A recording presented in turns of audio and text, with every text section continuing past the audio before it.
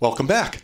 In this video, we're going to complete the work we started last time to enable shared authentication between the ASP.NET Core and ASP.NET app in our incremental migration scenario.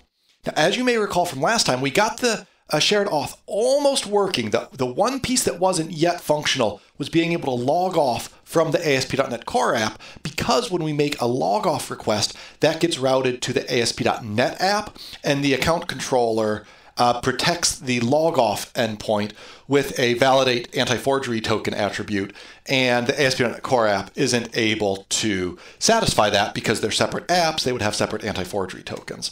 So let's take a look at how we can solve that now using this really useful library called Microsoft OWIN Security Interop that allows us to actually share these auth cookies between ASP.NET and ASP.NET Core so that we'll be able to log off without even going to the ASP.NET app and avoid that issue. The first thing we're going to have to do is if we pop into our program.cs in the ASP, ASP.NET Core app, we're going to add a little bit here. We're going to add some setup that's going to configure cookie authentication. And we're even though we don't have to use cookie authentication as our default scheme, having it available means we'll be able to sign out and we'll be able to sign out from the cookie that was provided by ASP.NET. So we're going to come down here and uh, we're going to need to be able to protect the, the auth cookies with data protection. And for demo purposes, I'm just going to store data protection keys on disk. So I'm going to combine uh, environment dot get folder path environment special folder application data uh, with, uh, we'll just call this subfolder DP keys. Okay, so we're going to use this uh, path, this string that I just came up with as the place to store things. So now we're going to configure data protection. And for that, we need to add data protection. We say we're going to persist the keys to the file system uh, for an application called eShop.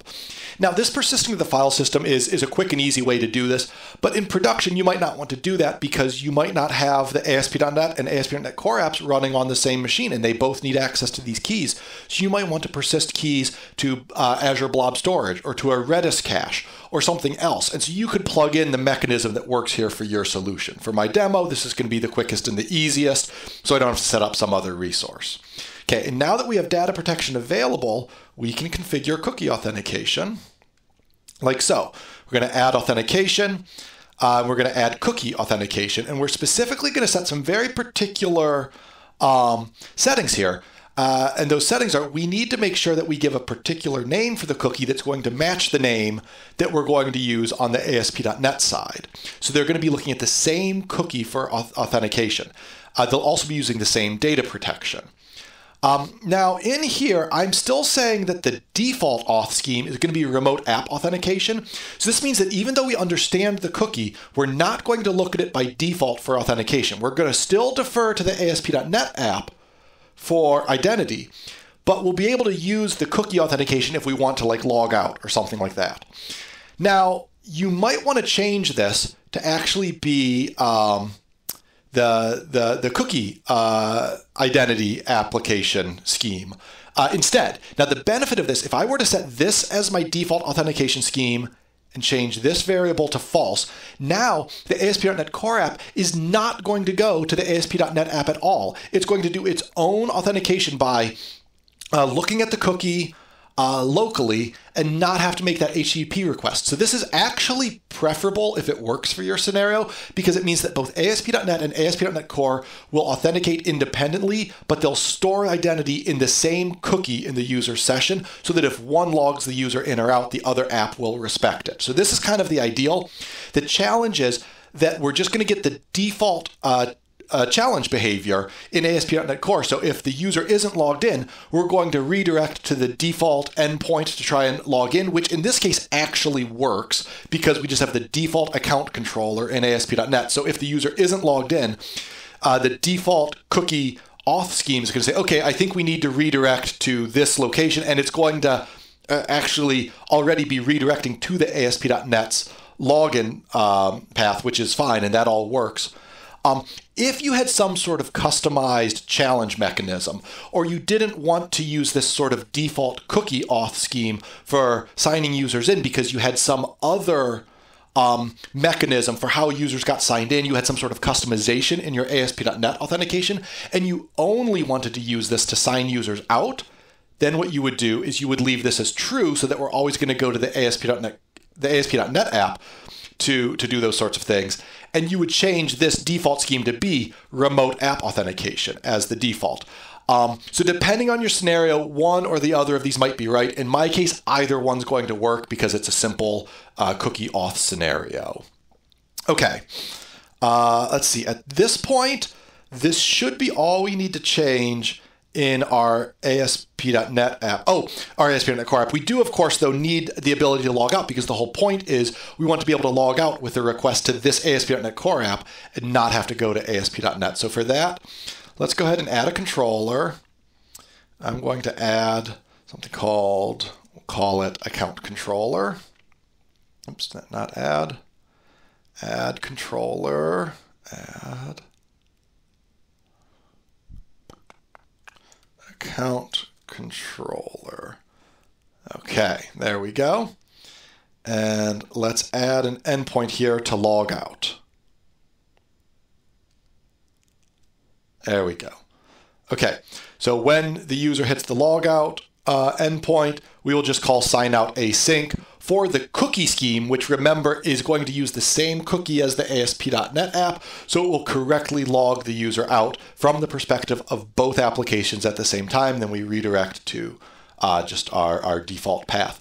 And we're still able to have validation of the anti-forgery token here because each app will have its own logout. Now, in order for them to each have their own, they can't be named the same. Otherwise, uh, the ASP.NET Core one would be used all the time, which isn't going to work. So I actually called this log out, whereas the ASP.NET endpoint is called log off.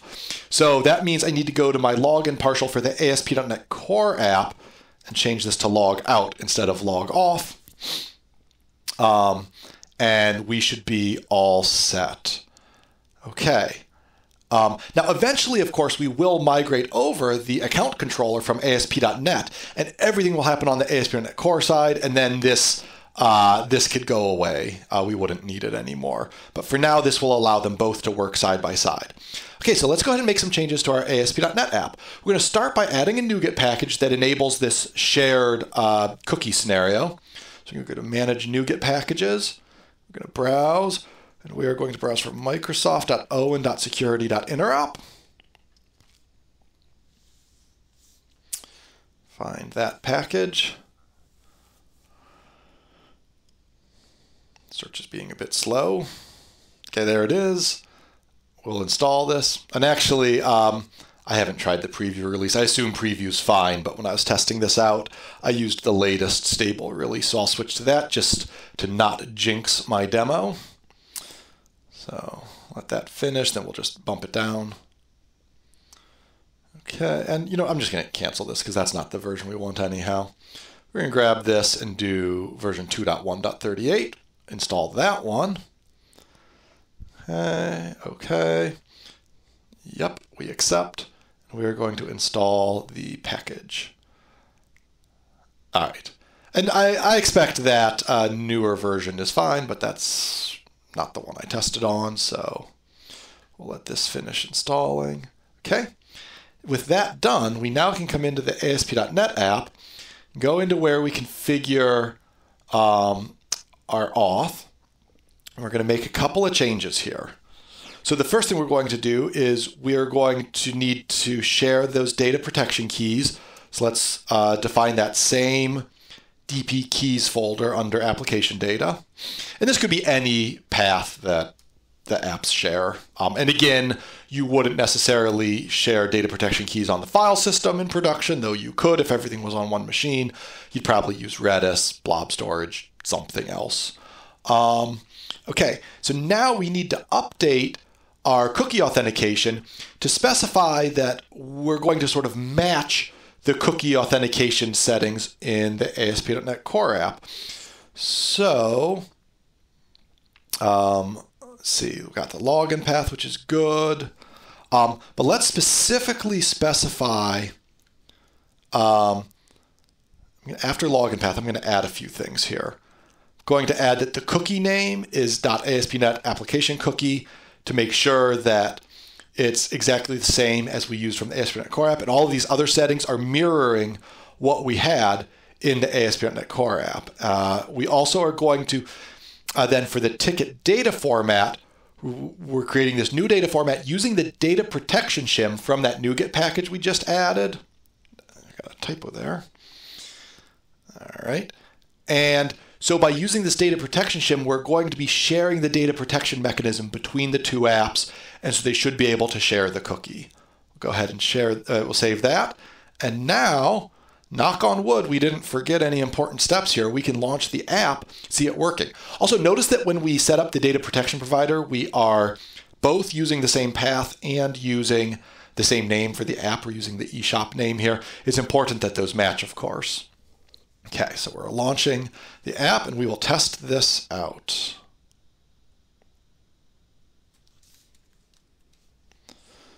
Okay, app is launching. I'll go ahead and maximize this. Okay, we've got our app being served here. Give it just a minute to grab the pictures from the ASP.NET app where they're coming from. Okay, and now let's go ahead to our user info endpoint. That'll trigger the challenge that'll ask us to log in, and then we'll get to see our claims in the user info page. Oops. .com. Okay, we log in. And behind the scenes, we went, we requested identity from the ASP.NET app. It I, authenticated the user, uh, sent back the um, identity and the set cookie header to specify the auth cookie that the user is now using in their session. So we are logged in as A at A.com. We have this. And now, if we go back to our homepage, since that's where we were before when it didn't work, from here, we should be able to log off. And what's going to happen is now the log off request will not go to the ASP.NET app. It'll just go to the ASP.NET Core app. And because it shares data protection and auth cookie settings with the ASP.NET app, we can just do the log off here directly. And voila, we are logged off. If we go over to session, which comes from the ASP.NET app, we will see that we are also logged off uh, from that app. Give it a minute to load. And here you go. We are not logged in here either. And so at this point now, our ASP.NET Core app, when it serves pages like user info or the catalog index, it's giving an experience identical to what we had from the ASP.NET app when we began this exercise. We have authentication working and sharing with the ASP.NET app. We're getting items out of session state. We're able to use uh, our other libraries that had little helpers that were providing this footer for us. And so at this point, we've completely migrated a couple of our endpoints. We've got the catalog index, as, uh, uh, really all of the catalog endpoints. We've got our user info controller migrated. And so we're well on our way to having this completely migrated to ASP.NET Core. At this point, we would just iterate. We'd go back to the remaining controllers, which in this app, there really aren't many, just the pic controller and a couple web API controllers. But you go back to those and you iterate and you go through the same process of right clicking, migrate, and the subsequent ones are always faster than the first because you've already moved over a lot of the underlying models and services.